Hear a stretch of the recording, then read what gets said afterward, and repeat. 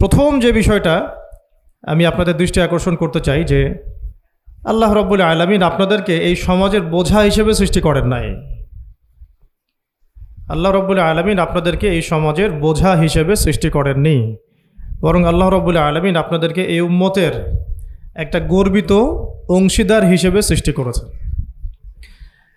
আদম আলী ইসলাম যখন জান্নাতে ছিলেন, তখনও তার কাছে হৃদয়ের মধ্যে কিছুটা শূন্যতা অনুভব হয়েছে, যেটা আল্লাহ রব্বুল আলমিন হাওয়া আলাইহাসাল্লামকে দিয়ে পূর্ণ করেছেন এবং তার বুকের পাজরের হাট থেকেই তার স্ত্রীকে আল্লাহবাক সৃষ্টি করেছেন। এবং উভয়ের প্রতি আল্লাহবাকের নির্দেশ কিন্তু সমান ছিল। এমন না যে আদম আলী ইসাল্লামকে বলা হয়েছে, এই গাছের কাছেও যেও না। হাওয়া আলী হাসাল্লামকে বলা হয় না এই ব্যাপারটা কিন্তু এমন নয়। বরং উভয়ের প্রতি সমান আদেশ ছিল, ওয়ালা তা করবা হ্যাঁ দিহি সাজরা তা করবা শব্দটা দ্বিবচন। তোমরা দুজনে, দুজনের কেউই এই গাছের কাছে যাবে না। অর্থাৎ আল্লাহ পাকের যে আদেশগুলো আসমানি কিতাবের মাধ্যমে আমাদের কাছে এসেছে, এগুলো নারী এবং পুরুষের জন্য সমান। ক্ষেত্র বিশেষে কিছু কিছু সুরতে আমলের, চলাফেরার, উসুলের কিছু পার্থক্য আছে। কিন্তু আমভাবে প্রত্যেকটা নসিহাত এবং আদেশ কিন্তু নারী পুরুষ সবার জন্য সমান। আমরা যদি চাই যে বাংলাদেশের মাটিতে দিন প্রতিষ্ঠা করতে, তাহলে শুধুমাত্র পুরুষদের ভূমিকা যথেষ্ট না। কোশ্চিনকালেও যথেষ্ট না, কারণ প্রত্যেকটা পুরুষই কোনো না কোনো মায়ের সন্তান, কোনো স্ত্রীর স্বামী, কোনো বোনের ভাই অথবা কোনো মেয়ের বাবা। তাহলে যদি শুধু পুরুষ, পুরুষবাচক শব্দে আমরা সমাজ সংস্কার করতে যাই, আমরা ব্যর্থ হব। দুঃখের সাথে বলতে হচ্ছে এটা। কিছু কিছু ক্ষেত্রে আমাদের আত্মসমালোচনার দরকার আছে। আমরা পুরুষদের মধ্যে যে পরিমাণ মেহনত করেছি, করছি এবং করার পরিকল্পনা করছি, তার ফিফটি পার্সেন্ট আমরা মেয়েদেরকে নিয়ে ফিকির করছি না। যে কোনো দিনই বোন যদি হেদায়তপ্রাপ্ত হন আল্লাহর পক্ষ থেকে, তারপরে সে যে পড়াশোনা করবে, এই পড়াশোনা করার মতো উপযুক্ত প্রতিষ্ঠানও আমরা তাদেরকে দিতে পারি না। নিরাপত্তা, পর্দা এবং সহজলভ্যতা, যে সহজেই সে জ্ঞান শিখবে, নিরাপত্তার সাথে, পর্দার সাথে, বাসার কাছাকাছি, মাহারামদেরকে সাথে নিয়ে, এমন পরিবেশ কিন্তু হাজারে একটা মেয়েও পাচ্ছে বলে আমার মনে হয় না। তো এই অবস্থা চলতে থাকলে আমরা ইসমাইল আলী ইসলামদেরকে জন্ম দিতে পারব না। যদি প্রত্যেকটা পরিবারের কর্তা ইব্রাহিম না হন এবং মায়েরা হাজারা আলী হাসালাম এবং সারা আলী হাসালামের মতো না হন, তাহলে তো ইসমাইলি প্রজন্ম আমরা জন্ম দিতে পারব না। সেক্ষেত্রে আমরা আল্লাহ পাকের জমিনে দিন প্রতিষ্ঠাও করতে পারব না। এই পৃথিবীতে আমাদের কাজটা কি? এক নম্বর হচ্ছে আল্লাহ পাককে চিনতে শেখা, আল্লাহ পাকের সামনে আত্মসমর্পণ করা, তার নবীর সুন্নতগুলো মেনে চলা, হালাল খাওয়া, একটা আদর্শ পরিবার গঠন করা, সন্তানদেরকে মানুষ করা, দিনের দাওয়াতের কাজ করা এবং দিনটাকে আল্লাহর জমিনের প্রতিষ্ঠার চেষ্টা করা। এছাড়া কি আমাদের কোনো কাজ আছে পৃথিবীতে? বাকি যে কাজগুলো সেগুলো আনুষঙ্গিক এবং সেগুলো সেগুলো এবাদত হিসেবে গণ্য হবে যদি আল্লাহর জন্যে হয় এবং রাসুলের তরিকায় হয়। যেমন কেউ যদি ঘুমায়, ঘুম, ঘুমানোর কাজটাও তো ইবাদত, যদি সেটা রসুলের তরিকা মোতাবেক হয়। সিম্পল খাওয়া দাওয়া করা আমরা আমাদের চাহিদায় খাই, কিন্তু এটাও এবাদত হিসেবে গণ্য হবে যদি খাওয়ার সুন্নাতটা আমরা ঠিকমতো আদায় করতে পারি। তাহলে প্রতিটা কাজই সুন্না এবং এবাদত হবে যদি আমরা সেটার তরিকা ঠিক রাখি। মূল কাজগুলো কি? মূল কাজগুলো হচ্ছে যে আবার বলতেছি, মূল কাজগুলো হচ্ছে এক, এই পৃথিবীতে আল্লাহকে চেনা, আল্লাহকে চিনতে শেখা। দুই, আল্লাহ রবুল্লা আলমিনের সামনে শর্তহীন আত্মসমর্পণ। শর্ত সাপেক্ষে না, একদম নিঃশর্ত আত্মসমর্পণ। তিন, আল্লাহ পাকের সমস্ত হুকুম, আহকামগুলো মেনে চলা। চার রসুল্লাহ সাল আলী হাসাল্লামের আদর্শ প্রত্যেকটা কাজে বাস্তবায়ন করা শূন্যদের উপর থাকা। পাঁচ হালাল খাওয়া, ছয় আদর্শ পরিবার গড়ে তোলা, সাত সন্তান প্রতিপালন, আট সৎ কাজে আদেশ, নয় অসৎ কাজে নিষেধ, দশ আল্লাহ পাকের এই জমিনের মধ্যে দিনটাকে প্রতিষ্ঠার চেষ্টা করা, যার যা সামর্থ্য আছে তাই দিয়ে। কেউ যান দিয়ে করবে, কেউ মাল দিয়ে করবে, কেউ কথা দিয়ে করবে, কেউ লিখনি দিয়ে করবে, কেউ প্রয়োজনে আল্লাহর পথে জিহাদ করবে, কেউ প্রয়োজনে শহীদ হবে, যার যেটা স্রোত সে সেভাবে করবে। এছাড়া কি দুনিয়াতে আমাদের কোনো কাজ আছে? তো এই কাজগুলোর মধ্যে, এই কাজগুলোকে যদি আমরা বাস্তবায়ন করতে পারি, তাহলে দুনিয়াতেও সফল হব ইনশাল্লাহ পরকালেও জান্নাতে যাব ইনশাল্লাহ এই তো, এই কাজগুলো যদি আমরা বাস্তবায়ন করতে পারি, দুনিয়াতেও সফল হব ইনশাআল্লাহ, এবং পরকালেও জান্নাতে যাব ইনশাআল্লাহ। তো এক্ষেত্রে এই গন্তব্য হাসিল করার জন্যে যে কাজটা সবার আগে দরকার, এতক্ষণ যেগুলো বললাম এই গন্তব্যটা হাসিল করার জন্য সবার আগে যে কাজটা দরকার সেটা হচ্ছে এক। সেটা হচ্ছে শরিয়াতের একটা ন্যূনতম জ্ঞান অর্জন করা। শরিয়াতের ন্যূনতম একটা জ্ঞান অর্জন করা। শরিয়াতের ন্যূনতম জ্ঞান বলতে আমি কি মিন করছে, কি বুঝাচ্ছি? আমি বোঝাচ্ছি কমপক্ষে আপনাকে বিশুদ্ধ করে কোরআন তেলাওয়াত করা শিখতে হবে। এক নাম্বার। এর সাথে আপনাকে আরবি ভাষা কিছুটা হলেও শিখতে হবে, যাতে আপনি কোরআনটা বুঝতে পারেন। তিন নাম্বার হচ্ছে হাদিস হাদিস শাস্ত্র পড়ার যোগ্যতা আপনাকে অর্জন করতে হবে মানে হাদিস পড়াশোনা করতে হবে। চার নাম্বার, নবী সাল্লাহ আলী পবিত্র সিরাত, অর্থাৎ জীবনী, এটা আপনাকে পড়তে হবে। মনে থাকবে তো? লিখে নেন। পাঁচ নাম্বার হচ্ছে, এক নাম্বার কি বলেছিলাম? বিশুদ্ধ কোরআন, তিলাওয়াত। তারপরে বলেছি, আরবি ভাষা শিক্ষা করা। তারপরে বলেছি, হাদিস পাঠ। তারপরে বলেছি, সিরাত পাঠ। পাঁচ নাম্বার হচ্ছে, আকিদা বিশুদ্ধ করা। আকিদা বিশুদ্ধ করা। আকিদার অনেক কিতাব আছে এবং আকিদার আর অনেক দার্সও আছে, এটা নিয়ে আমরা পরে আলোচনা করব ইনশাল্লাহ ছয় নম্বর হচ্ছে আপনার ইসলামের ইতিহাস পড়াশোনা করতে হবে। ইসলামের ইতিহাসটা পড়াশোনা করতে হবে। সাত নম্বর হচ্ছে ইসলামিক অর্থনীতি পড়াশোনা করতে হবে। ইসলামী অর্থনীতির জ্ঞান রাখতে হবে। আট নাম্বার, ইসলামিক পারিবারিক জীবন ব্যবস্থার জ্ঞান অর্জন করতে হবে। ইসলামিক পারিবারিক জীবন ব্যবস্থার জ্ঞান অর্জন করতে হবে। নয় নম্বর, সন্তান প্রতিপালন কীভাবে করতে হয়? ইসলামিক প্যারেন্টিংয়ের জ্ঞান অর্জন করতে হবে। দশ নাম্বার হচ্ছে যে ফিক এর জ্ঞান অর্জন করা। ফিক মানে হচ্ছে তুলনামূলক যে মাসলা মাসাইলগুলো না জানলে আমরা আমল করতে পারব না, এই মাসলা মাসাইলগুলো জেনে নেওয়া যেটাকে আমরা বলি যে ফরজে আইনের জ্ঞান। ফরজে আইনের জ্ঞান। তাহলে এখানেও দশটা পয়েন্ট বের হয়ে আসলো। তাই না? তাহলে আমার সাথে একটু রিপিট করেন। প্রথমে বলেছি ইলম অর্জনের ক্ষেত্রে আপনাকে কোরআনের, আগে কোরআন দিয়ে শুরু করতে হবে। মানে কোরআন যিনি তেলাওয়াত করতে পারেন না, তিনি হতভাগা। মুসলিম পরিবারে জন্মগ্রহণ করেও যিনি কোরআন তেলাওয়াত করতে পারেন না, আমি মনে করি না, এই পৃথিবীতে তার চেয়ে হতভাগা কেউ আছে। আমি মনে করি না। মানে কোরআনের সাথেই সম্পর্ক নাই। মানে আল্লাহর কিতাবই সে তেলাওয়াত করতে পারে না। তো সে এই পৃথিবীর সম্পদ নয়, বরং বোঝা। আল্লাহ পাক আমাদের সবাইকে আল্লাহর কিতাব শেখার তৌফিক দান করবেন। একটা এক নাম্বার, এখান থেকে শুরু হবে পড়াশোনা। আগেই একটা আদনান ভাইয়ের বই নিয়ে নিলাম, আগে একটা অমুক স্কলারের বই নিয়ে নিলাম, আগে একটা তমুক স্কলারের বই নিয়ে নিলাম, এভাবে পড়াশোনা শুরু করতে হয় না। পড়াশোনা শুরুটাই হবে আপনার কোরআন থেকে।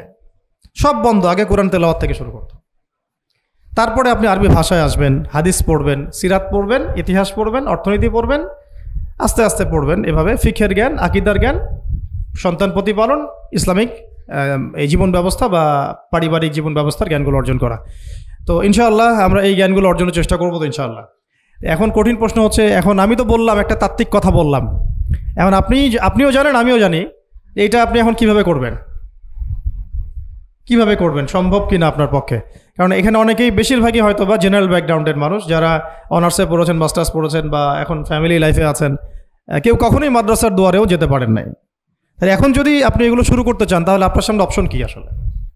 আপনি কি আবার শুরু থেকে মাদ্রাসায় ভর্তি হতে পারবেন? উত্তর হচ্ছে না। তাহলে সেকেন্ড অপশন হচ্ছে মাদ্রাসা ভিত্তিক যদি শর্ট কোর্স চালু করা হয়, সেই শর্ট কোর্সগুলো আপনাকে করতে হবে। এছাড়া তো কোনো অপশন নাই। তিন নম্বর আরও প্রশ্ন আসবে, এটা কি আপনি অফলাইনে সব জায়গায় মুভ করে করে করতে পারবেন? উত্তর হচ্ছে না। যদি আপনার অফলাইনে আপনার সামনে কোনো সুযোগ থাকে, তাহলে তো ভালো। যে আপনার বাসার পাশে একটা মাদ্রাসা আছে বা আপনার এলাকাতে একটা সুন্দর মাদ্রাসা আছে। এটা থাকলে তো আলহামদুলিল্লাহ এবং ভালো। আমরা চাই সেটাই হোক। কিন্তু সবার ক্ষেত্রে এটা পসিবল হয়ে ওঠে না। এই কারণে অনলাইনের কোর্সগুলোর দিকেও একটু ফোকাস করতে পারেন, যাতে ঘরে বসে পর্দার সাথে আপনি কোর্সগুলো করতে পারেন। চার নম্বর পয়েন্ট হচ্ছে এই কোর্সগুলো করলেই আবার সব শেখা যায় না। কারণ অনলাইনের কোর্সগুলো তো আপেক্ষিক, এগুলো সব সামনাসামনি বসে তো পড়ানো হয় না, এই কারণে ইফেক্টটা আসে না। এই যে সামনে বসে লেকচার দিচ্ছে, এটার এটার যে ইম্প্যাক্ট এটা অনলাইন লেকচার শোনার ইম্প্যাক্টটা সেম না কখনোই। এই জন্যে আমরা সবসময় বলি যে, ওস্তাদদের সামনে গিয়ে দার্স নেওয়া আর কি। এই সুযোগটা তো সবাই সব মেয়ে পাচ্ছেন না এই জন্য আমরা আপনাদের আপনাদের প্রতি আহ্বান করব এবং আমরাও উদ্যোগ নেওয়ার চেষ্টা করব যাতে প্রত্যেকটা বিভাগীয় শহরে অ্যাটলিস্ট প্রত্যেকটা বিভাগীয় শহরে মেয়েদের জন্য একটা একটা স্বনামধন্য, একটা আদর্শ দিনী মার্কাস প্রতিষ্ঠা করা যায়। যেখানে অফলাইনে আমাদের দিনই বোনরা এসে সপ্তাহে দুই দিন, তিন দিন দিন দিন শিখবেন। এতে ইনশাল্লাহ এক বছর অনলাইনে পড়ার চাইতে বেশি ফায়দা হবে ইনশাল্লাহ কিন্তু এই কাজটা আমার একার পক্ষে করা সম্ভব না ওনার একার পক্ষে করা সম্ভব না। তো এটা আবার আমাদের সবাইকেই হাত লাগাতে হবে। আমার কাছে এত অর্থ সম্পদ নাই, আমার কাছে কোনো জায়গা জমিও নাই। থাকলে আমরা আল্লাহর রস্তা ফিসাবিল্লা দিয়ে দিতাম। যাদের কাছে আছে তারা এগিয়ে আসেন, প্রতিষ্ঠান গড়ে তোলেন। প্রত্যেকটা এলাকা এলাকায় একটা করে মেয়েদের মার্কাজ গড়ে তোলেন। টিচারদেরকে আমরা ট্রেন করে দিব ইনশাল্লাহ সিলেবাস আমরা দিয়ে দিব ইনশাল্লাহ মল্লিমা আমরা পাঠাবো ইনশাল্লাহ একটা এলাকার বোনদেরকে যেন বাইরে যেতে না হয়। সে এলাকার মধ্যেই তারা একশো জন, পঞ্চাশ জন বসে বসে দিন শিখবে। সম্ভব না এটা করা। অনেক আগেই সম্ভব ছিল এবং জরুরিও ছিল। কিন্তু আমরা অন্যদিকে বেশি ফোকাস করছি, মেয়েদেরকে সত্যি এখানে আমরা অবহেলার মধ্যেই রেখেছি। এখন আমার মেয়ে হয়েছে বলে আমি খুব কনসিয়াস যে আমি এখন মেয়ে নিয়ে কী করব? আমার মেয়েকে আমি কীভাবে বড় করব? এখন তো আমি মেয়েকে পড়তে অন্য কোথাও পাঠাবো না। কারণ সিকিউরিটি কনসার্ন আমি আমার মেয়েকে কোথাও মেসে থাকতে দিব না। সিকিউরিটি কনসার্ন এবং আমাদের গায়রতের খেলাফ, ব্যক্তিত্বের খেলাফ। তাহলে আমার মেয়েকে পড়াশোনা করানোর জন্য আমাকেই প্রতিষ্ঠান গড়ে তুলতে হবে। এবং এমন এমন প্রতিষ্ঠান যেখানে আমার মেয়ে দুনিয়াবি জ্ঞানও পাবে, পরকালের জ্ঞানও পাবে। এটা তো অ্যাভেলেবেল না। তো অ্যাভেলেবেল হবে কখন? যখন সবাই হাত লাগাবো। দেখেন, আমি একটা হাদিস মনে করে দিই আপনাদেরকে। এটা বলতে চাচ্ছিলাম না, কিন্তু বলছি। নবী সাল্লাহ আলী হাসলাম একদিন ঈদের খুদ্া দিচ্ছিলেন এবং ওই খুদ্বাতে তিনি বলেছিলেন যে, হে মুসলিম নারীগণ আমি জাহান নামে দেখে এসেছি যে তোমাদের সংখ্যা বেশি। মুসলিম নারীগণের সংখ্যা বেশি, এটাও হাদিসের সঠিক ফাহাম না। মানে পুরো উম্ম, এই উম্মতের মধ্যে নারীদের একটা বড় অংশ জাহান নামে যাবে। এই উম্মতের মধ্যে। তো তোমরা বেশি বেশি সদাকা করো, তোমরা বেশি বেশি সৎকা করো, একটা খেজুরের টুকরা দান করে হলেও জাহান্নাম থেকে বাঁচো। তো এটা বলার পরে বেলাল রদিউল্লাহ আনহু একদিক থেকে আরেক দিক হাঁটছিলেন, সাথে একটা কাপড় ছিল। নারীরা তাদের কেউ গলার হার, কানের দুল, হাতের মানে চুড়ি এগুলো সোনার সব খুলে খুলে দান করছিলেন। মেয়েদেরকে সদাকার মধ্য দিয়ে জাহান্নাম থেকে বাঁচতে হবে। সৎকা করার মধ্য থেকে, মধ্য দিয়ে মেয়েদেরকে জাহান্নাম থেকে বাঁচতে হবে। আজকে যদি আপনি একটা প্রতিষ্ঠান গড়ে দিয়ে যেতে পারেন, এটা যদি আরও পঞ্চাশ বছর সাস্টেইন করে এই পঞ্চাশ বছর এখানে যত মানুষ দিন শিখবে, সমস্ত মানুষের ইলমেন নাকি আপনি পাবেন। কিন্তু আমরা কিন্তু সবাই ব্যক্তি স্বার্থ নিয়ে চিন্তা করি আর দুনিয়ার স্বার্থটাকে বেশি প্রাধান্য দেই।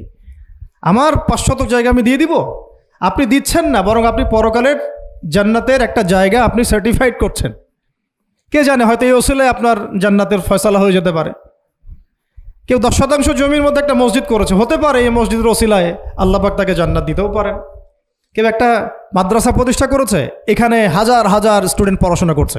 কে জানে, হয়তো এই ওসিলায় আল্লাপাক তাকে পরকালে জান্নাত দিতে পারেন। তো সদাকা এগিয়ে আসা এবং শিক্ষা খাতে নিজেদের জানমাল, অর্থ সম্পদকে ব্যয় করা, আমাদের একার পক্ষে এখন আর এগুলো সম্ভব না। হ্যাঁ যদি আমার কাছে রাষ্ট্রীয় কোনো ক্ষমতা থাকতো বা শিক্ষা বিভাগের কোনো ক্ষমতা থাকতো, তাহলে প্রত্যেকটা মসজিদ ভিত্তিক আমরা মেয়েদের আলাদা শিক্ষার ব্যবস্থা করতাম। মসজিদ ভিত্তিক, প্রতিষ্ঠানের প্রয়োজনই নাই।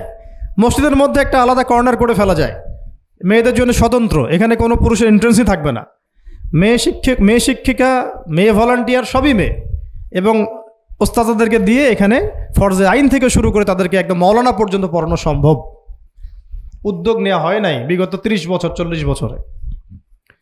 তো ইলম অর্জনের পথে আবার এরকম প্রতিবন্ধকতা আসবে, সেগুলোকে ফেস করার বা সেগুলো সলভ করার জন্য আমাদেরকে কিন্তু ফিকির করতে হবে। আর এই ফিকিরটা একজন, দুজন মানুষের কাঁধে চাপিয়ে দিয়ে আপনি কিন্তু দায়মুক্ত হতে পারবেন না।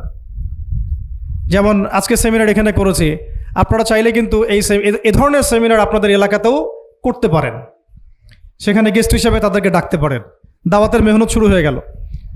যদি বসে থাকেন যে প্রত্যেক দুই মাস পর পর ওস্তাদারা আয়োজন করবেন এবং আমরা যাব, তো এটা তো তখন এক কেন্দ্রিক কাজ হয়ে গেল।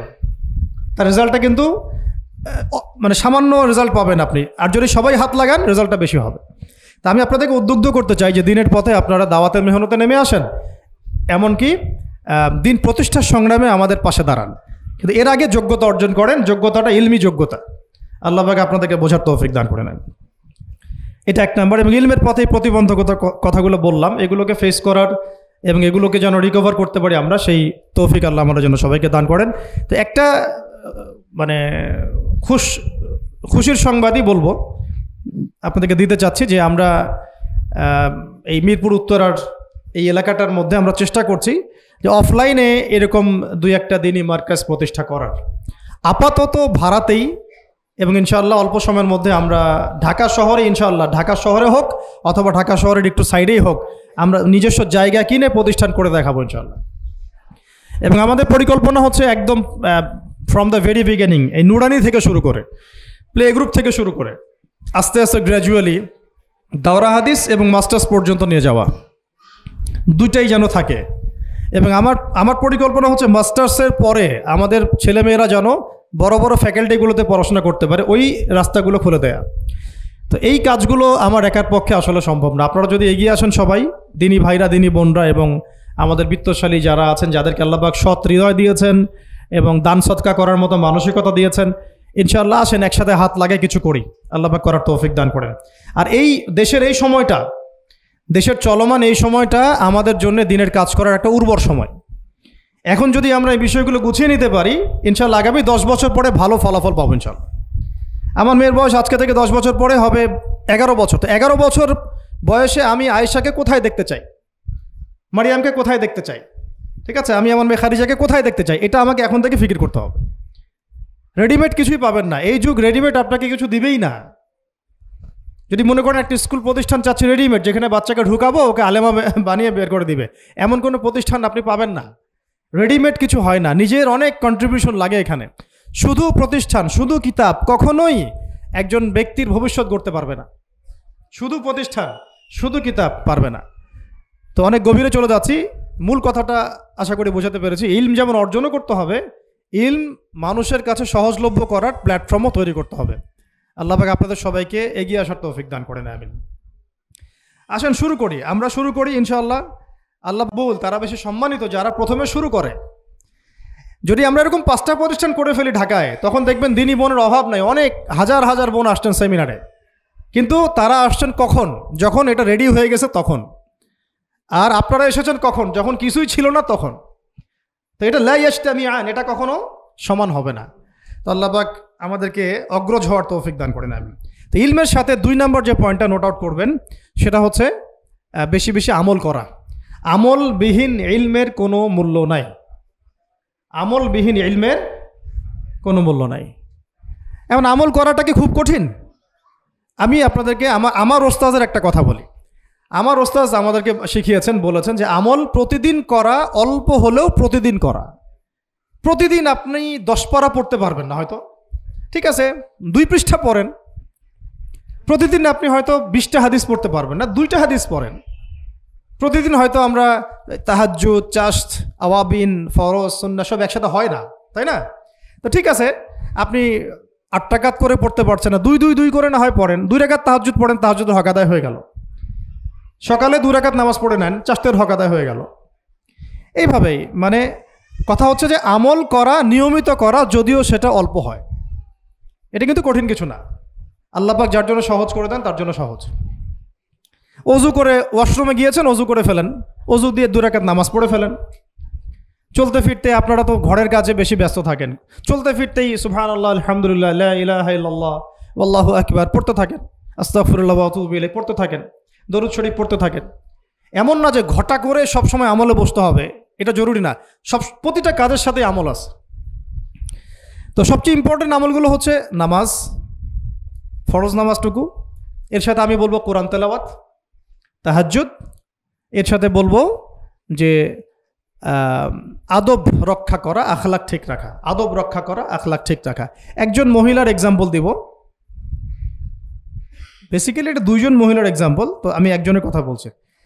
একজন সাহাবি এসে নবী সাল্লাহ আলী সাল্লামকে বলেছিলেন যে, আমাদের বাসার পাশে একজন মহিলা আছে, প্রচুর এবাদত করে। কোনো নামাজ মিস নাই, কোনো নফল রোজা মিস নাই, খুবই পরেশগার, খুবই মোত্তাকি, খুবই খুবই উঁচু লেভেলের মোত্তাকি একজন মহিলা বলে মনে হয় আমাদের কাছে। কিন্তু তিনি তার প্রতিবেশীর সাথে ঝগড়া করেন। তিনি তার প্রতিবেশীর সাথে ঝগড়া করেন এবং বাজে ল্যাঙ্গুয়েজ ইউজ করেন। নবী সাল্লাহ আলী ইসলাম বলেছেন যে তিনি জাহান্নামী। নাউদুবিল্লাহ আরেকজন মহিলা সম্পর্কে বক্তব্য এসেছিল। আরেকজন সাহাবি বলেছেন যে আমাদের বাসার পাশে একজন মহিলা আছে। তেমন কোনো নামাজ, খুব বেশি নামাজ, খুব বেশি এবাদত করেন না, কিন্তু তার আখলাক, চরিত্র খুব নরম, কোমল। নবী সাল্লাহ আলী ইসলাম বলেছেন, তিনি জান্নাতি। তাহলে আমরা এই হাদিসটা থেকে বুঝতে পারছি যে আমলের মূলনীতিটা আসলে কি। আমল মানে এই না যে একেবারে সবসময় আমাকে নামাজ, রোজা, হজ জায়গাতেই ফোকাস করতে হবে। আমার আদাব মুআশারাটাও অনেক বড় ব্যাপার। চলাফেরা, ওঠা বসা, আমাদের ডিলিংসগুলো তো এখানে আমি একটু বলব আপনাদেরকে, কারণ এই যুগটা তো অনলাইনের যুগ মিডিয়া দ্বারা প্রভাবিত হওয়ার যুগ। বিভিন্ন সিরিয়ালস আমাদের মাথায় এখনও বসে আছে। দেখেছি জীবনে আমরা অনেক সময়, কেউ না কেউ। তো এইগুলো আমার মাথায় কিন্তু ইম্প্যাক্ট ফেলে। এগুলো আমাদের মাথায় ইম্প্যাক্ট ফেলেছে। সমাজ ব্যবস্থা আমাদের মাথায় ইম্প্যাক্ট ফেলেছে। যে পরিবেশে আমরা পড়াশোনা করেছি, ওই পরিবেশটা আমার উপর ইম্প্যাক্ট ফেলেছে। সব মিলে আমাদের মাথাটা এখন পুরো দূষিত। আমাদের মাথাটা কিন্তু পুরাই দূষিত, কলপটা আরও দূষিত। তো এইখানে যে বিষয়গুলো ফোকাস করা দরকার, যে পিতা মাতার সাথে একদম কোমল হয়ে যান। ছেড়ে দেন। নিজের অধিকারে না আসলেও ছেড়ে দেন। পিতা মাতার সাথে কোমল হয়ে যান। পিতা এবং মাতা আপনার জান্নাত জাহান্নামের মাধ্যম। যদি স্বামী থেকে থাকে, স্বামীর প্রতি নরম হয়ে যান, তাকে ছাড় দেওয়া শিখেন। সবচেয়ে বড় কথা, তাকে মহব্বত করা তো অবশ্যই জরুরি, মহব্বতের চাইতেও বেশি জরুরি স্বামীকে বিশ্বাস করা এবং তাকে সম্মান করা। এমন কোনো কথা এবং কাজ না করা যেটা স্বামীর গায়রত বা ব্যক্তিত্ব আঘাত করে। আমি পয়েন্টটা হয়তো বোঝাতে সক্ষম হয়েছি। ভালোবাসা অনেক গুরুত্বপূর্ণ বিষয় ঠিক আছে, কিন্তু ভালোবাসা শুধুমাত্র একমাত্র গুরুত্বপূর্ণ বিষয় নয়। আরও গুরুত্বপূর্ণ বিষয় হচ্ছে বিশ্বাস, সম্মান এবং আনুগত্য। বিশ্বাস, সম্মান এবং আনুগত্য। এখন বলতে পারেন যে আমার স্বামী আমাকে অন্যায় কাজে আদেশ করলে কি আমি আনুগত্য করব? কখনোই না। যখন স্বামী আপনাকে কোরআন সন্ন্যার দিকে আপনাকে ধাবিত করবেন, তখন আপনি তার আনুগত্য করতে বাধ্য। এবং এটা আপনার জান্নাতে যাওয়ার মাধ্যম বটে। এই হাদিসটা খুব ভালো করে মনে রাখতে হবে যে এই পৃথিবীতে কেউই আল্লাহ পাকের পরে সিজদা পাওয়ার যোগ্য না। এমনকি নবীদেরকেও আল্লাহ পাক সিজদা করতে বলেন নাই। কিন্তু সেই নবী আমাদেরকে কিন্তু বলেছিলেন যে যদি আল্লাহ পরে কাউকে আমি সেজদা করতে বলতাম, তাহলে আমি স্বামীদেরকে সেজদা করতে বলতাম। এটাকে তসলিমা নাসরিন স্টাইলে বুঝলে হবে না। ওরা এটাকে এভাবে নিবে যে ইসলাম মেয়েদেরকে দাসত্বের শৃঙ্খলা আবদ্ধ করতে চাচ্ছে হ্যাঁ আত্মস্বাধীনতা দিবে না, ইত্যাদি। আমরা দেখব পরকালে আমি জান্নাতে যেতে পারছি কিনা। আল্লাহ পাকের হুকুমের চাইতে আমার কাছে কোনো যুক্তি বড় নয়। আল্লাহ পাকের হুকুমের চাইতে আমার কাছে কোনো যুক্তি, বিজ্ঞান, প্রযুক্তি এগুলো বড় মানদণ্ড নয়। শুধুমাত্র স্বামীর আনুগত্য বিশ্বাস, সম্মানের বদৌলতে দেখা যায় যে পুরোটা জীবন এই বেচারা আপনার জন্য ঢেলে দিবেন চাল আর এই জায়গায় যদি দেখা যায় ঘাটতি থাকে, তখন কোনো কোনো ক্ষেত্রে ভালোবাসা যথেষ্ট হয়ে ওঠে না। এবং আপনারা জানেন এই শহরে ডিভোর্সের সংখ্যা দিন দিন বাড়ছে। কেন? এইগুলো মেজর কারণ আছে। হ্যাঁ আমি বলছি না যে সব ছেলেই একেবারে পারফেক্ট কখনোই না। ছেলেরাও যেমন সাহাবি না, মেয়েরাও সেরকম মহিলা সাহাবি না। কিন্তু কিন্তু সবর, আনুগত্য, নরম, কোমলতার কোনো বিকল্প নাই। উভয় পক্ষের জন্যই নসিহতগুলো আর কি, স্বামীর জন্য এবং স্ত্রীর জন্য। আরেকটা বিষয় হচ্ছে যে স্বামীর পরিবার নিয়ে খোটা না দেওয়া, স্বামীর যে বাবা, মা, ভাই, বোন, এই ব্যাপারগুলো নিয়ে খোটাখুটি, খোটা দেওয়া, না দেওয়া বা খোঁচাখুচি না করা। এবং তার যে অবদান, আপনার প্রতি এটাকে অস্বীকার না করা, কুফুরি না করা। একটা হাদিসের মধ্যে নবী সাল্লাহ কিন্তু বলেছেন যে, বেশিরভাগ নারীর জাহান নামে যাওয়ার কারণ কি? সাহাবিরা জিজ্ঞাসা করেছিলেন। তিনি বলেছেন, তারা কুফুরি করে। কি কুফুরি করে? তারা কি আল্লাহর সাথে কুফুরি করে? নবীজি বলেছেন, না। বরং তারা সারা জীবন স্বামীর যে দিয়ে যাওয়া যে স্যাক্রিফাইস বা অধিকার, এটাকে হঠাৎ করে অস্বীকার করে বসে। হঠাৎ কোনো একদিন অস্বীকার করে বসে। এটার কারণে দেখা যায় আল্লাহ পাক নারাজ হয়ে যান। আল্লাহ রব্বুর আলমিন তো একজন ব্যভিচারী নারীকেও জান্নাত দিয়েছেন, মাত্র কুকুরকে পানি পান করানোর কারণে। আবার একজন মেয়ে, একজন নারীকে বিড়াল বেঁধে রেখে কষ্ট দেওয়ার কারণে জাহান্নামে দিয়েছেন। তো জবান এমনই একটা কঠিন জিনিস, যেটাকে নিয়ন্ত্রণে না রাখলে আমাদের জন্য ক্ষতি হবে। আল্লাহবাক আমাকে, আপনাদের সবাইকে জবান হেফাজতে রাখার তৌফিক দান করে দেন। আর কিছু বিষয় হচ্ছে, কিছু শাসন সমাজে থাকে মানে পরিবারের মধ্যে থাকে। এই শাসনগুলো কখনোই মেয়েদেরকে বিপথে নিয়ে যাওয়ার জন্য নয়। বরং যে আপনাকে মহব্বত করবে, সেই আপনাকে শাসন করবে।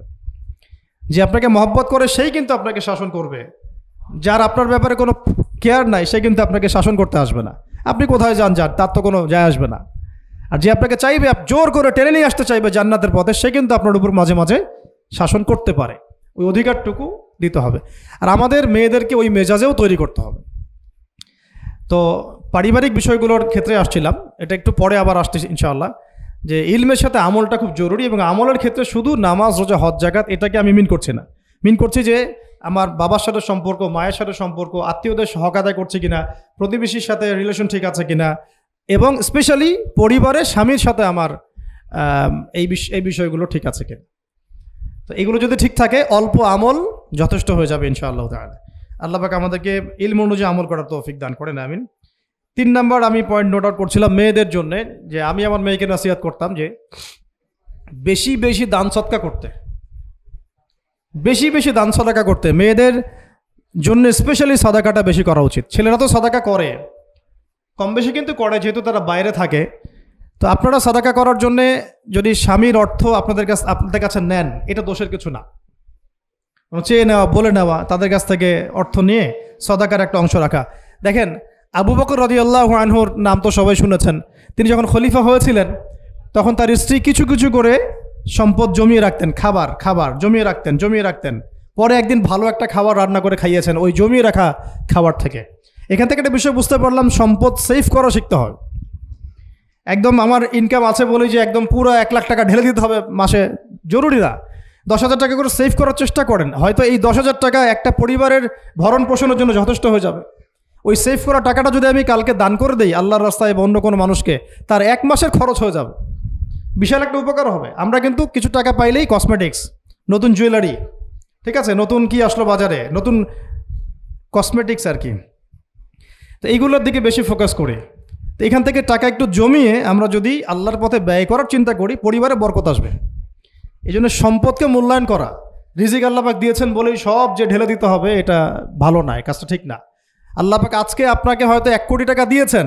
কালকে আল্লাহ না করুক, এক হাজার টাকার জন্য মানুষের কাছে হাত পাততে বাধ্য করতে পারেন আল্লাপাক এমনও কিন্তু দিন আসতে পারে, দিন সবার সবসময় সমান থাকে না।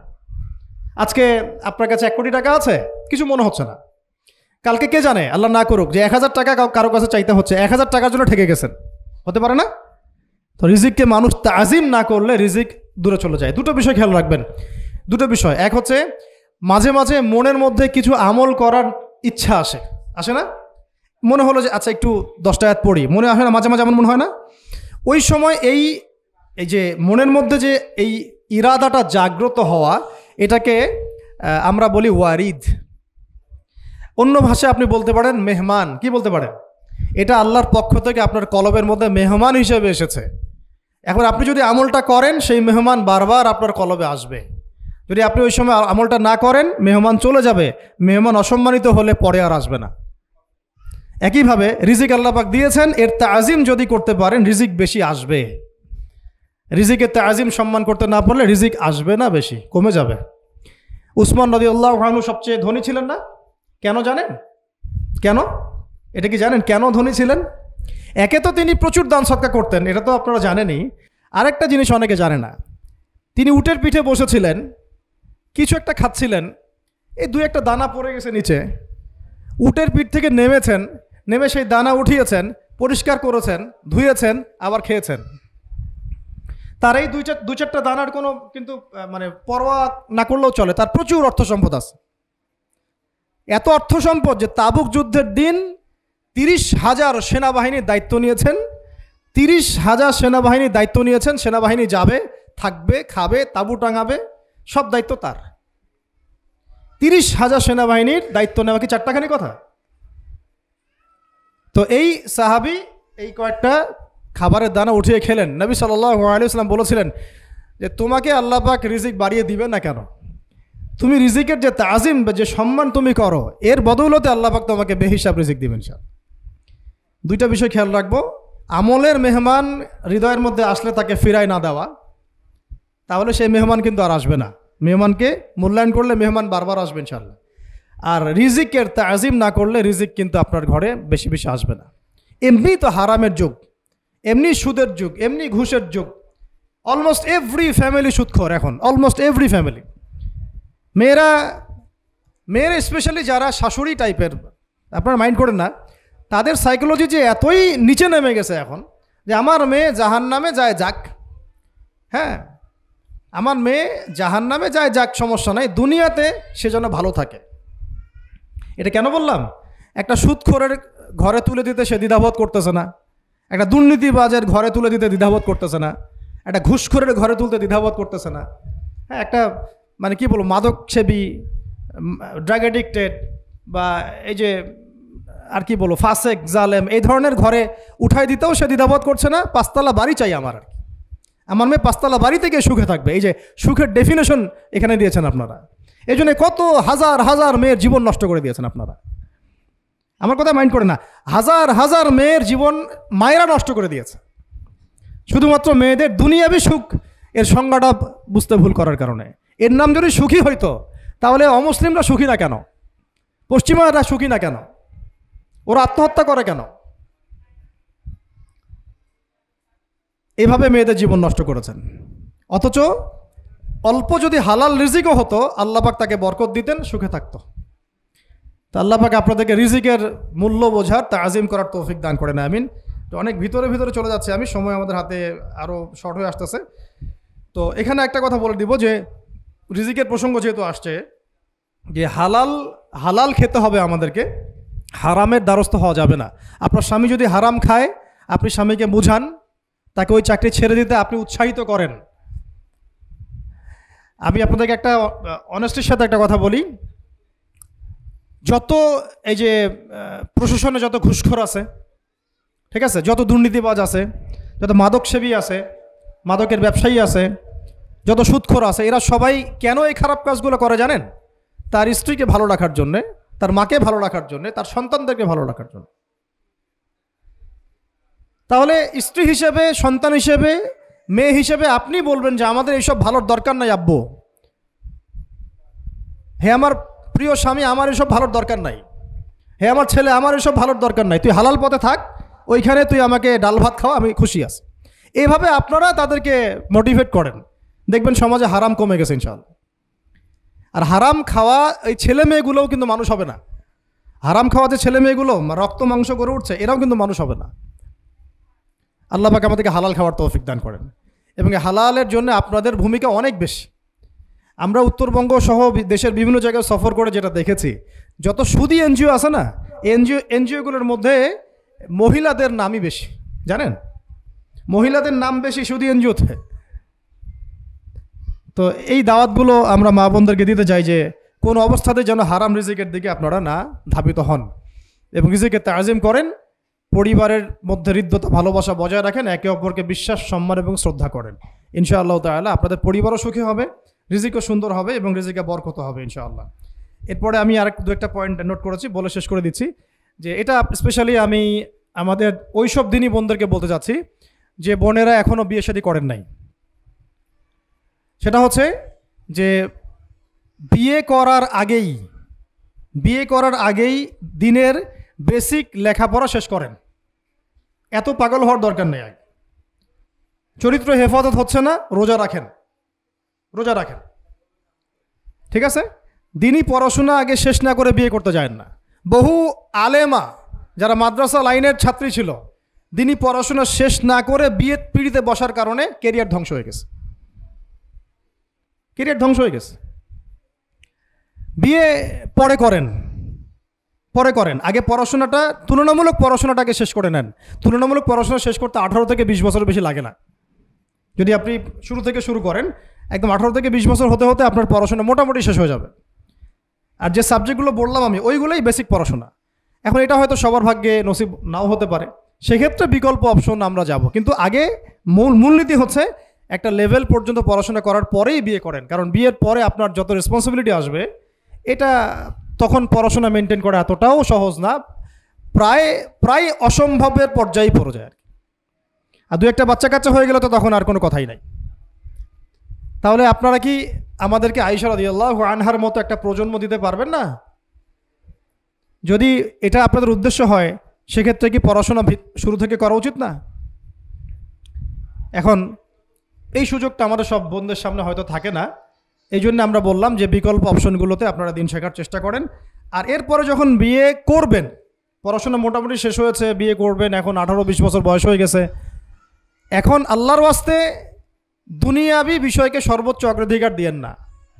আজীবন পস্তাবেন এবং একবার পস্তানো শুরু করলেই পস্তানো আজীবনও শেষ হবে না। তখন মেইল করে, মেসেজ করে কোনো লাভ হবে না। কারণ আপনি বিয়ের আগে দিনকে প্রাধান্য দেন নাই, বরং দুনিয়াকে প্রাধান্য দিয়েছিলেন। আপনি বিয়ের আগে দিনকে প্রাধান্য দেন নাই, বরং দুনিয়াকে প্রাধান্য দিয়েছেন। যখন আপনি সবসময় পরকালকে আল্লাহকে, তার রাসূলকে প্রাধান্য দিবেন, দিনকে প্রাধান্য দিবেন, দুনিয়া আল্লাহই গুছিয়ে দিবেন। আর যখন আপনি মানে দুনিয়াকে সর্বোচ্চ অগ্রাধিকার দিবেন, দিন দিন আপনার কাছ থেকে দূরে সরে যাবে। দিনের একটা গায়রত আছে, একটা ব্যক্তিত্ব, দিনের একটা স্বতন্ত্র গায়রত আছে, সে সবার কাছে ধরা দেয় না। যে তাকে মূল্যায়ন করে তার কাছেই দিন আসে। যে তাকে মূল্যায়ন করে না, তার কাছে দিন আসে না। তো দিনদার ছেলেকে প্রাধান্য প্রাধান্য না দিয়ে বিয়ে করতে যায় না, জীবনটা ধ্বংস হয়ে যাবে। হ্যাঁ আমি বলছি না দিনদার ছেলে মাদ্রাসাতেই থাকে। না জেনারেল লাইনেও থাকতে পারে ডক্টরও হতে পারে ইঞ্জিনিয়ারও হতে পারে। কিন্তু এটা বাহ্যিকভাবে এটাকে জাস্টিফাই করাটাও ডিফিকাল্ট কিছু কিছু ক্রাইটেরিয়া দেখে আপনি একটু আন্দাজ করতে পারেন, পুরোপুরি হয়তো কখনোই বুঝতে পারবেন না। সেটা হচ্ছে দিনের প্রতি তার ফিকির কেমন, দিন নিয়ে তার কাজ কেমন, তার লাইফস্টাইল কেমন, তার পরিবার কেমন, কোন পরিবেশে সে বড় হয়ে উঠেছে, তার একাডেমিক্যাল সার্টিফিকেট কেমন, তারপরে তার দাওয়াতের মেহনতে অ্যাক্টিভিটিস আছে কি না বা ব্যবসা হালাল কিনা, বা চাকরিটা হালাল কিনা, নামাজ ঠিক আছে কিনা, তার মধ্যে সুন্না আছে কিনা, এগুলো কিছু কিছু বাহ্যিক সাইন যেগুলো দেখে আমরা একটা আইডিয়া নিতে পারি। তারপরে বলব যে এখানে একশো পার্সেন্ট আপনি এনশিওর হতে পারবেন না। ওইটা আল্লাহ পাকের হাতে। তো ওইটা ওইটাও যদি এনশিওর করতে চান, তাহলে কি করতে হবে? তাহলে নিজেকে দিনদার হতে হবে। আমি নিজে যদি ভালো দিনদার হই, তাহলে ইনশাআল্লাহ আল্লাহ পাক আমাকে দিনদার স্ত্রী দিবেন। নিজে দিনদার না, তাহলে কি রেডিমেড দিনদার ছেলে আসবে? কখনই আসবে না। দোয়া করতে হবে, রব্বানা হাবলানা মিন আজওয়াজিনা ওয়া যুররিয়াতিনা কুররাতা আয়ুন ওয়াজআলনা লিল মুত্তাকিনা ইমামা। দোয়া করতে হবে যে, রব্বি হাবলি মিনাস সালিহিন, রব্ব হাবলি মিন লাদুনকা যুররিয়াতান তাইয়্যিবা ইন্নাকা সামিউদ দুআ এই বিষয়গুলো দেখে খেয়াল রাখবেন। আর শরীয়তের মেজাজ মাথায় রাখা। শরীয়তের মেজাজের কথাটা আজকে এই জন্য বলছি যে, আমরা আমাদের দেশে যে প্রবলেমটা দেখি, ইসলামের পূর্ণাঙ্গ বিষয়গুলো মানুষ মাথায় রাখতে চায় না। ইসলামে যেমন নামাজ, রোজা, হজ জাকাত আছে, ইসলামে কিন্তু দাওয়াত, তাবলিগ, জিহাদও আছে। তাই না? ইসলামে কিন্তু শরিয়া আইনও আছে, হুদুদ, কেসাস আছে, ইত্যাদি আছে। আমাদের সমাজে দেখেন, নামাজ শব্দ পরিচিত কিন্তু কেসাস শব্দ পরিচিত না। কেসাস মানে কয়জন জানেন? যে কেসাস শব্দ অর্থ কী? অনেকেই জানে না, কিন্তু কেসাস একটা কোরআনের একটা ফান্ডামেন্টাল বিধান। যে কেউ যদি আপনার চুরি করে, হাত কেটে ফেলতে হয়, কেউ যদি ব্যবিচার করে, বেত্রাঘাত করতে হয়, বিবাহিত হলে রজম করতে হয়, কেউ যদি মোরতাদ হয়, তারও মৃত্যুদণ্ড শাস্তি আছে, কেউ সাতেমে রসুল, রাসুলকে গালি দিয়েছে, তারও মৃত্যুদণ্ড আছে। এরকম অনেক বিধান আছে, হুদুদ এবং কিসাস আছে। হত্যার বদলে হত্যা, চোখের বদলে চোখ, জানের বদলে জান। আমাদের সমাজে এগুলো পরিচিত না। নামাজ পরিচিত কিন্তু। তাসবি তাহলিল পরিচিত। ঠিক আছে, এরকমই সমাজেও বহু বিবাহ এটা অপরিচিত। হ্যাঁ আপনি একটা বিয়ে করে বাইরে চারটা, পাঁচটা, ছয়টা মেয়ের সাথে খারাপ সম্পর্ক করলে সমাজ এটাকে প্রমোট করে।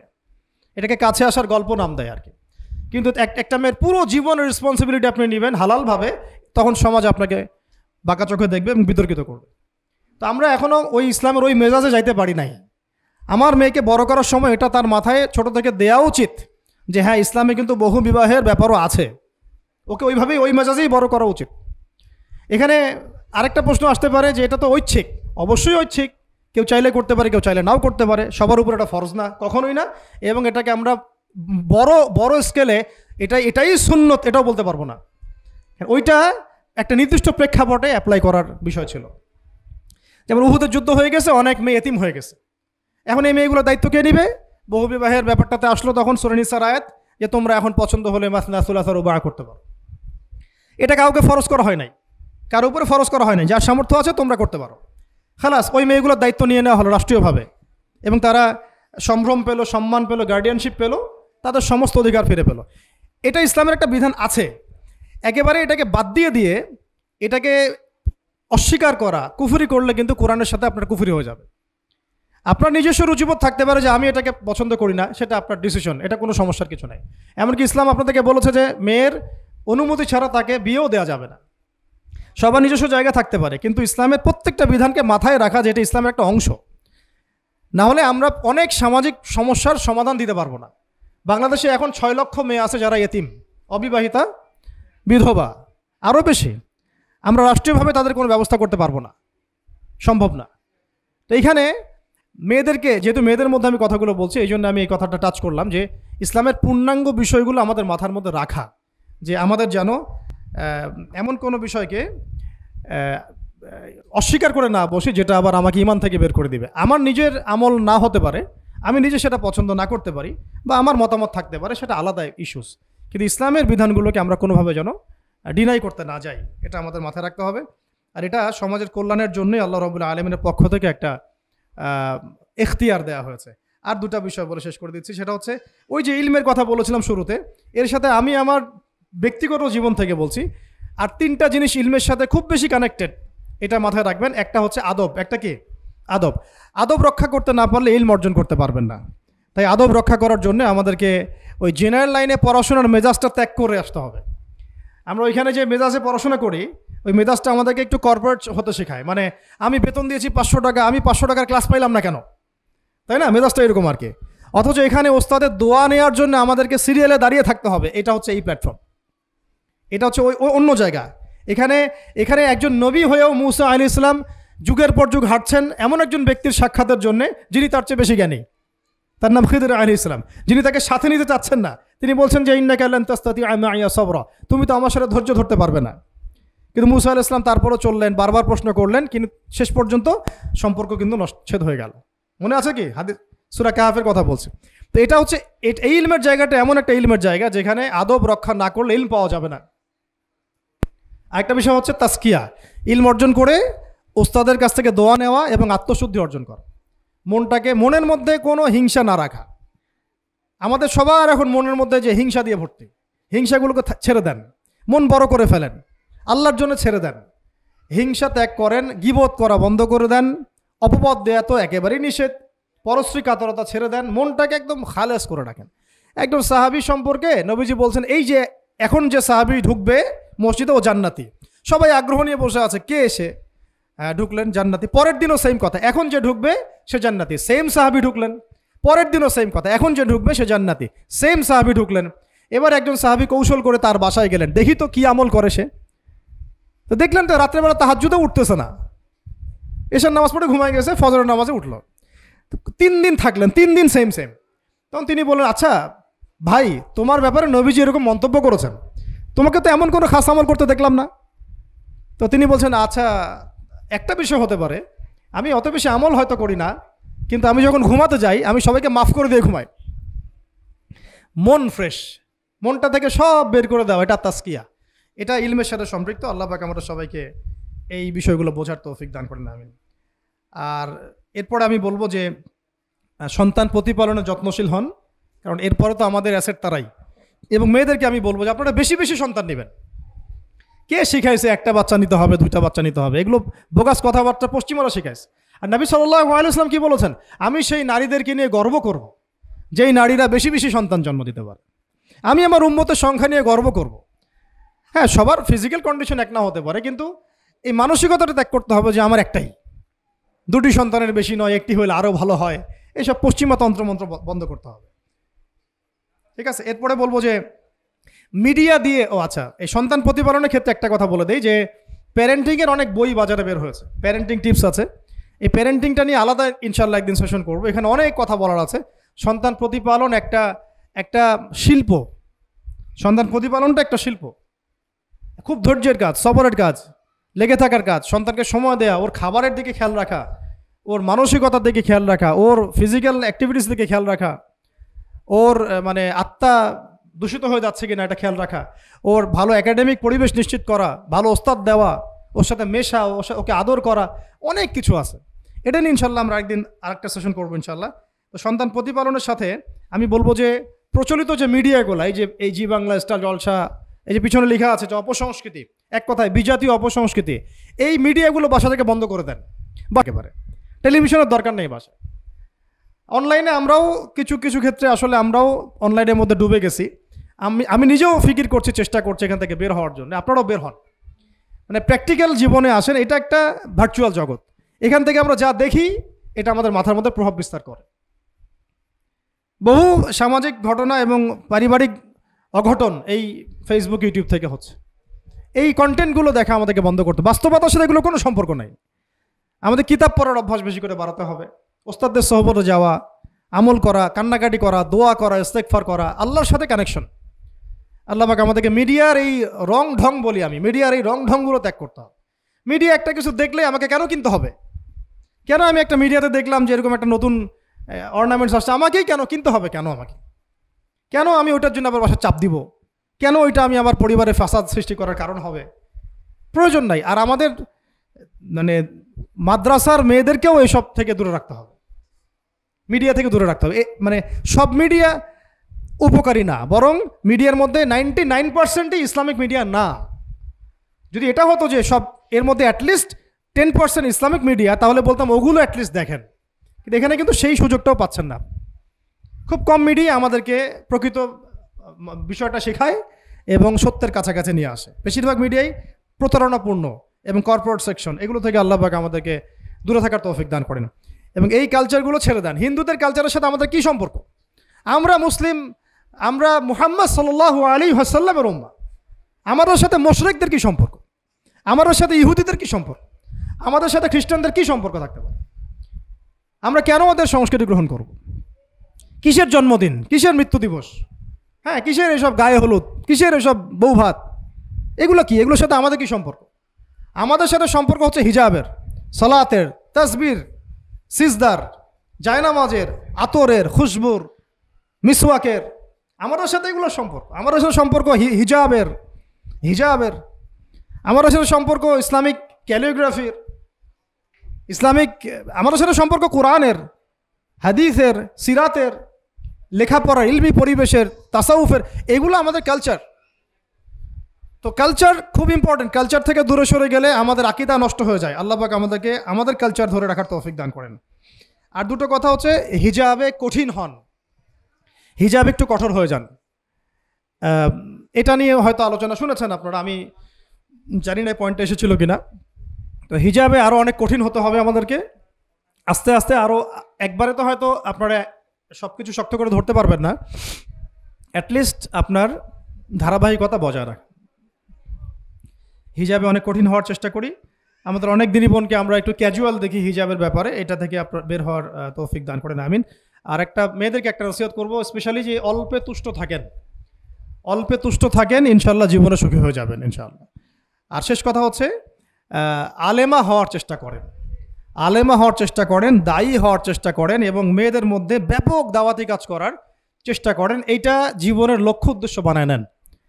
ইনশাল্লাহ আপনার জীবনের লক্ষ্য যদি এমনই হয়, দেখবেন এমনই জীবন সঙ্গিনী আপনি পেয়েছেন, যার জীবনের লক্ষ্য সেম তখন দুজনে মিলে আপনি কাজ করতে পারবেন ইনশাল্লাহ আমাদের এখন প্রচুর ওলাম, আলেমা দরকার, আমাদের প্রচুর দায়ী বোন দরকার, আমাদের মোয়াল্লিমা, শিক্ষিকা বোন দরকার, ঠিক আছে? আমাদের প্রত্যেকটা ডিপার্টমেন্টে এরকম যোগ্যতা সম্পন্ন দিনী বোনদেরকে দরকার। তো এইটা তো আর একা আমাদেরকে গড়ে, আমাদের পক্ষে গড়ে তোলা সম্ভব না। তাই সবাই আমরা যদি হাত লাগাই এবং আমাদের উম্মাকে নিয়ে ফিকির করি, ইনশাআল্লাহ তাহলে আজকে যে বিষয়গুলো আলোচিত হলো, এগুলো ইনশাল্লাহ শুধু তাত্ত্বিক কথাবার্তায় সীমাবদ্ধ থাকবে না ইনশাল্লাহ বাস্তবেও রূপলাভ করবে ইনশাল্লাহ